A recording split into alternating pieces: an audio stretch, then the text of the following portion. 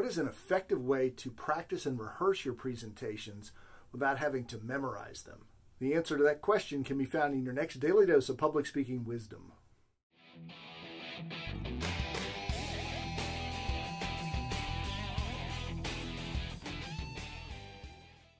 A big challenge for many presenters is determining how best to practice so that they can sound as natural as possible when they deliver in front of an audience or a prospective client.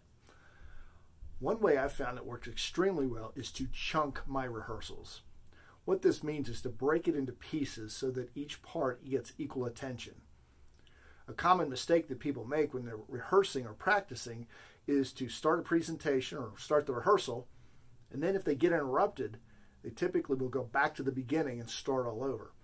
The result is the beginning part of the speech or the presentation gets a lot of focus, but the middle and the end typically don't. What I suggest is chunk. Break it, uh, let's say, into five minute segments.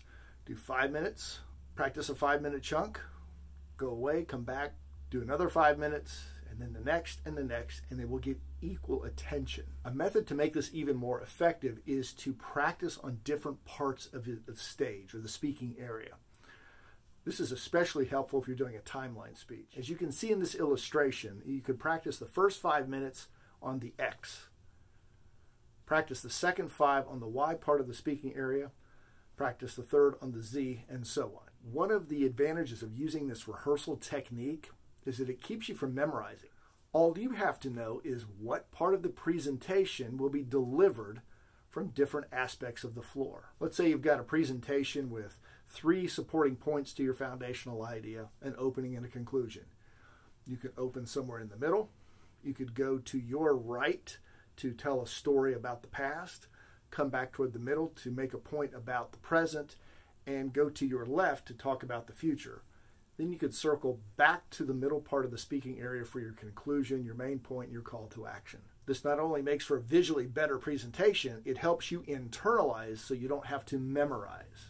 And as you've heard about in other tips, memorized speeches don't work well. They make you look like a speaker, and it can be a disaster if you get interrupted or somebody asks a question and you forget where you're supposed to pick back up.